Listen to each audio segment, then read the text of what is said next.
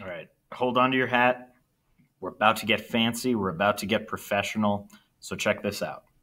Let's say you want to mix uh, a little more, a little more uh, intricately.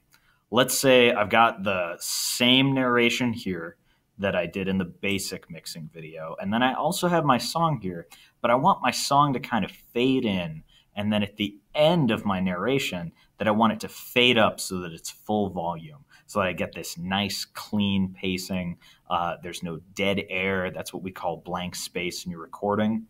I'm going to go over here and I'm going to click on these little uh, these dots connected by lines. It says show hide automations.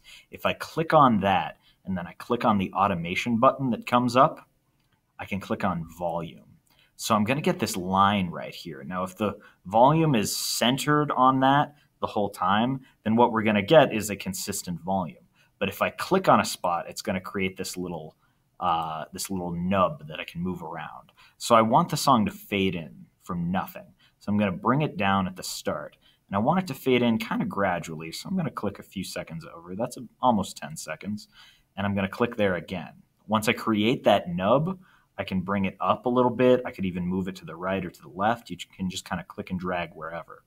Now, I still don't want my voice to be overpowered by the song, so I'm not going to bring it up too much, but it's going to a little bit more smoothly come into my track here. Now, a little bit further down where my track's about to end, I'm going to click on another one to create another nub, and then I'm going to click on one for where it's going to be at full volume. And then I'm going to bring that all the way up.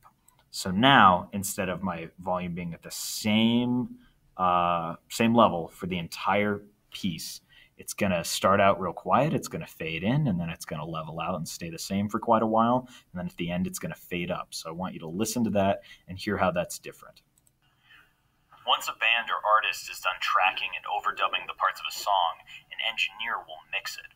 This is the time when all the levels of the individual parts, meaning the instrumentals, the vocals, etc., are adjusted up and down to find the perfect mix.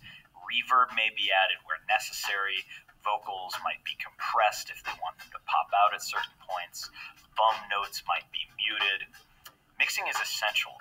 Getting the right mix can make or break a song. You don't want everything loud. Don't want everything soft. Some parts you want quiet, and others you want to pop. You want to be able to hear everything cohesively as one complete piece, while also being able to discern the individual parts and create a ride through the song that carries the listener through varying ups and downs. All right, so when playing that, I think I'm, I'm gonna hold off on the uh, bringing it all the way up because I think I lost some of that last uh, syllable in there, and I think I can bring the volume up just a wee bit on the uh, the whole thing. Uh, but that was a little bit fancy. Maybe you don't get to this in your podcast, and that's okay. Uh, but if you do get to this point, this is where it can sound really professional. So I would challenge you uh, to try to do something along these lines if you have the time.